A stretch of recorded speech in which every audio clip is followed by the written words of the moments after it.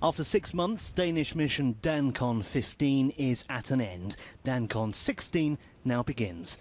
The official handover is steeped in Danish military history, as incoming CO Colonel Kenneth Pedersen explains. The commander who's giving the flag away, he will not release it before uh, the other one has a firm gri- grip on it. So it, command is never released. It's go from one person to the other one, so there's always a clear line of command. Mirroring Op Herrick, the Danish mission is changing. Just 300 personnel make up the new contingent, a 40% reduction, the biggest single country drawdown we've seen so far. The incoming and outgoing COs make clear the future focus of Danish operations. So we're drawing down just as the British do, but we still have sort of a, there's obviously the redeployment uh, issue that I have to deal with, and at the same time supporting uh, the ANSF uh, shoulder to shoulder with the British. At the ceremony today, the new Danish ambassador to Afghanistan, who believes the efforts of his countrymen and women on the ground have enabled the diplomatic push. It goes hands in hand with the civilian uh, uh, efforts uh, that, that we are doing in Kabul, the uh, civilian uh, reconstruction and the development assistance. I think uh, the, what the forces is doing here together with Great Britain forces, it's, it's really important. For many of these fresh troops, it will be their first tour of Afghanistan, and it's a time of adaptation and expectation.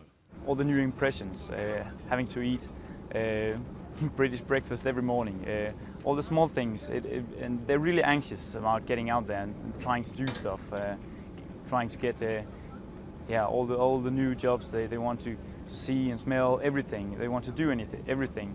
Um, so they're really anxious just to get started, I guess. The Danes bring a unique piece of kit to the party. This, the Leopard 2A5 main battle tank. And over the years in Afghanistan, it's really proven its worth. The Leopard is a 1500 horsepower, 68 ton monster. Its 120mm gun packs a punch. And although tracked vehicles have fallen out of favour in Afghanistan, the Danes have exploited their benefits. In 2008, in support of the British infantry, they prevented the enemy outflanking the British by the Helmand River.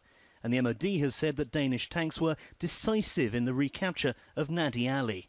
In 2014, they continue to have a role. But I expect it to uh, be a huge asset for everyone down here when we uh, start closing the bases and so on.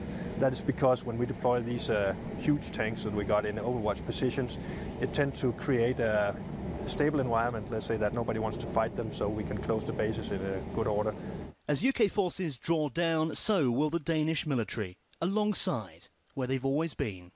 Tim Cooper, Forces News, Camp Bastion.